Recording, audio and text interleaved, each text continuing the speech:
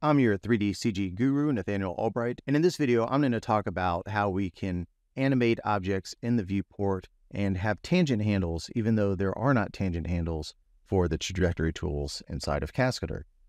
So I'm going to go up to the commands, go to add, and choose sphere.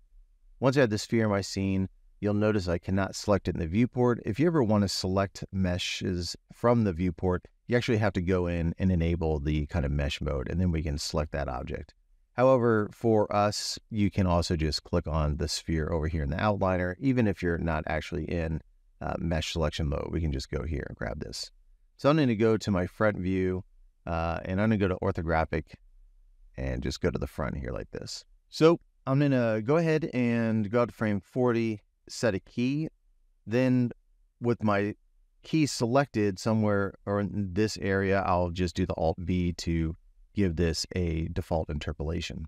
Now, uh, my animation is going and not doing anything, so I need to move this through space. We're going to create a little uh, bouncy ball. Uh, I have trajectories enabled and I have my time selected, so I'm seeing some of my trajectory. The trajectory options are right up here, so I'm just going to turn that off for a moment and lift my sphere up, but I need to set a key first before I do that. There we go. Let's go ahead and select the key range and enable trajectory. So here's our trajectory. And I want to move this key, so just middle click and drag without holding down shift will allow me to move the key without cloning it. Now notice that when I enable trajectory, it's going to show me just the path for whatever is selected. And if I click away, I lose that uh, visual. So what you can do is if you want to select a range, there are these little uh, marks here, the set trajectory interval. It looks like the hotkey for that. I haven't looked that one up. Okay, so just the um, backslash will turn those on and off, and the backslash can be found right above the enter key. So now I can make some adjustments if I wanted, like so. Okay, so this is our trajectory. You'll notice that we have uh, different colors. So anything that is actually keyframed is a different color dot than the neighboring objects. And if we do something like mark something as important, it'll kind of show up with this additional red uh, outline, which is great as is just some more information, the better. Okay, now, so I have this ball, and the one issue I have with this bounce right now is that there is a slow in and a slow out. And I don't want this, right? With the bouncy ball, we want this thing. Going to have this kind of like launching off of the ground with a high velocity, like it's been shot out of a cannon. And then I want it coming to the ground fast. So there are no tangent handles with the Bezier uh, interpolation, but you can actually introduce your own tangent handles, if you will, simply by placing a key next to the key you want the tangent handle.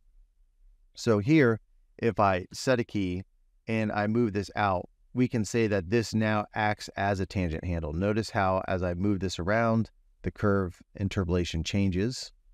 And now I can remove any slow in by giving myself some space. Now, because of the interpolation, I do start to get some overshoot here.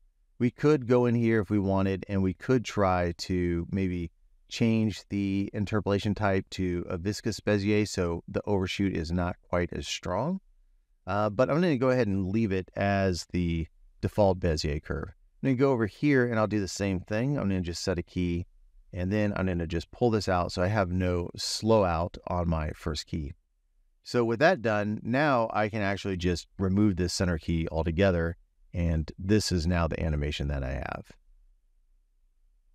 If I wanted to make it not go so high, I would just simply need to dial back the separation of the second to last and second key on the timeline.